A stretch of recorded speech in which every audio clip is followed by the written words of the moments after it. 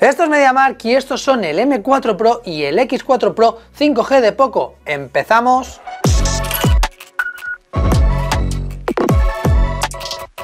El pasado Mobile World Congress, que ya hace tiempo que pasó, pero pudimos asistir al lanzamiento de varias novedades, aunque no muchas, eso sí, pero una de ellas, o mejor dicho, dos, fueron las que propuso Poco, la marca china de móviles que va abriéndose paso en el mercado de la gama media y que la verdad no le va nada mal. Y en concreto hablamos del M4 Pro y el X4 Pro 5G, dos propuestas interesantes que hemos estado probando estos días y aquí te dejamos nuestras impresiones. En general podemos decir que a nivel de prestaciones y precio, pues los dos modelos se parecen bastante, aunque el M4 es una opción un pelín más asequible y el X4 se posiciona en un nivel un poquito más alto de rendimiento o por ejemplo la cámara, que también es con un poquito más de megapíxeles. Y empezamos entonces por este último, por el X4 Pro en su versión 5G. Y es el sucesor del que fue un superventas el año pasado, el X3 Pro, y se presenta con un diseño muy renovado con acabados en plástico duro, esquinas redondeadas, un módulo de cámaras importante y una trasera que según le dé la luz presenta unos rayos diagonales que se cruzan con un efecto muy curioso y que nos parece bastante bonito. Está disponible en tres colores, este negro asfalto, también en azul neón y el amarillo marca de la casa que le queda muy bien.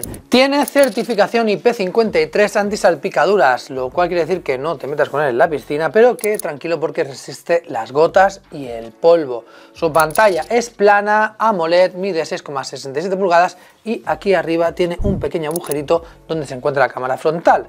Su resolución es Full HD+, tiene un brillo de 700 nits y una tasa de refresco de 120 Hz y como no, está protegido por Corning Gorilla Glass 5. Por todo ello, el resultado es una pantalla muy lograda y es perfecta para disfrutar del contenido multimedia porque se ve realmente bien. Y por cierto, el móvil se desbloquea con huella dactilar, pero en vez de estar debajo de la pantalla, lo tienes en el lateral, en el botón de bloqueo y desbloqueo pero independientemente de dónde esté, la verdad es que es muy rápido.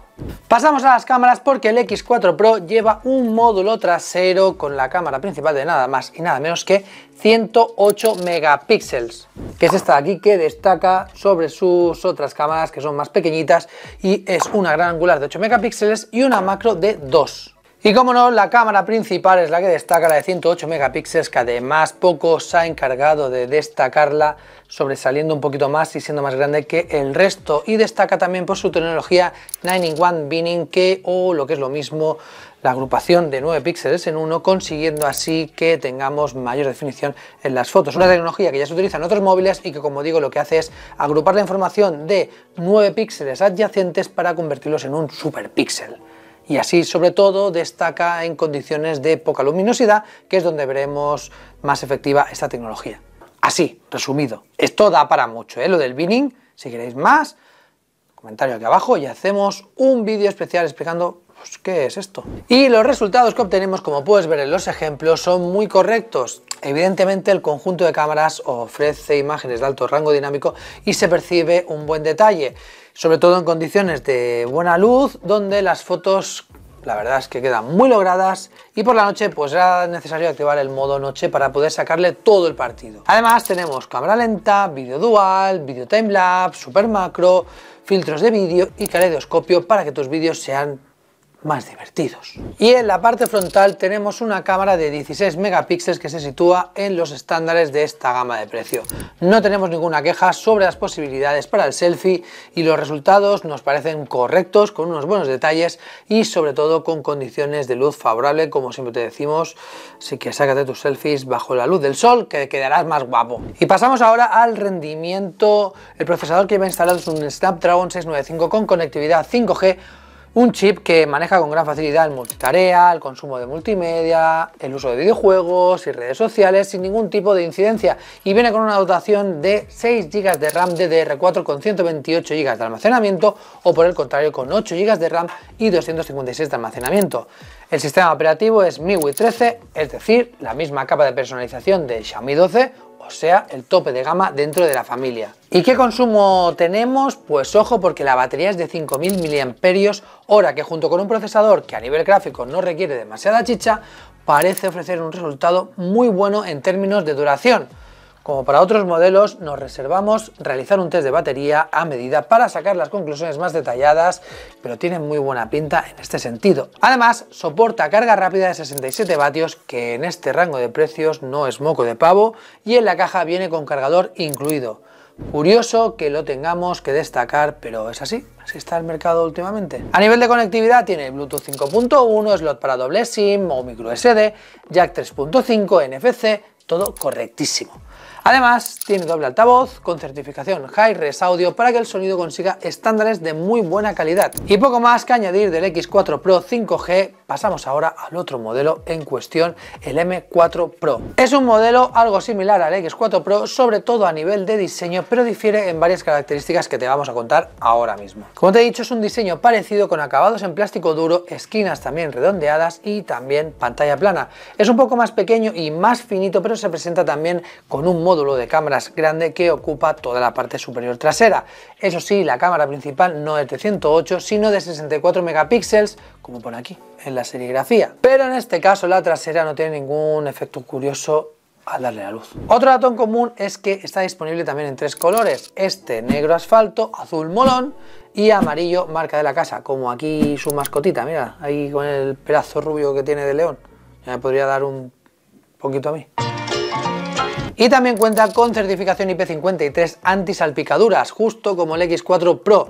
Lo dicho, resiste a las gotas de agua y al polvo. No te metas en la piscina con él, ni te duches con él. Pero ducharte sí, dúchate. Ya hemos dicho que su pantalla es plana con tecnología AMOLED y presenta el mismo dot display con el agujero aquí arriba en la cámara frontal, pero a diferencia del X4 mide un poquito menos, es de 6,43 pulgadas, su resolución es Full HD Plus y tiene un brillo de 700 nits con una tasa de refresco esta vez de 90 Hz y está protegido por Corning Gorilla Glass 3 en vez de 5. Y en su gama de precio, pues estas son características con un buen estándar y la pantalla logra un rendimiento muy correcto en el visionado de contenido multimedia y en el territorio gaming. En el M4, así como en el X4, el sensor de desbloqueo con huella no está en el panel, sino en el botón lateral, aquí en el de bloquear y desbloquear. Y también es muy rápido. Y a nivel de cámaras, como ya te hemos dicho, el módulo trasero tiene una presencia importante. Es una triple cámara con una principal de 64 megapíxeles, una gran angular de 8 megapíxeles y una macro de 2.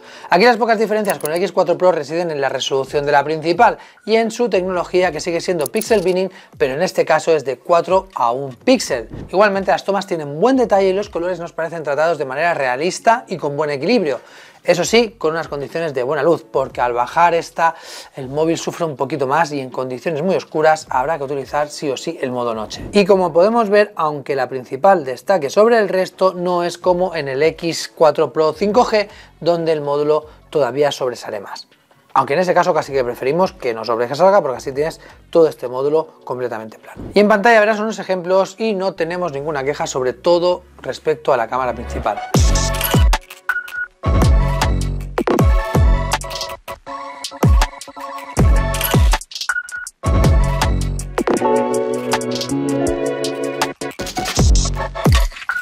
Y en la parte frontal, la cámara selfie es la misma que en el X4 Pro con sus 16 megapíxeles y unos buenos resultados teniendo en cuenta lo que hemos dicho y repetido durante toda la review, el rango del precio en el que nos estamos moviendo. Repetimos, con buena luz, no tendrás problemas. Rendimiento, el M4 monta un MediaTek Helio G96 con 8 núcleos y potencia de 2,05 GHz. Viene con 6 GB de RAM DDR4 y con 128 de almacenamiento o con 8 GB de RAM y 256 de almacenamiento. Se puede ampliar el almacenamiento a 1 TB con micro SD. No es el Snapdragon del X4 que acabamos de ver, de hecho hay una gran diferencia y es que este G96 no es un procesador 5G, pero no le tiene miedo ni al multitarea, ni al día a día, ni al procesado de fotos tomadas con la cámara principal.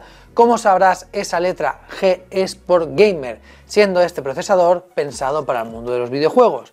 En definitiva, es un chip que encaja perfectamente con el rendimiento que buscas en un buen gama media. Y aquí también tenemos el sistema operativo MIUI 13, con todas las bondades de esta última versión, por ejemplo, en términos de mejora de privacidad y seguridad, para que no te.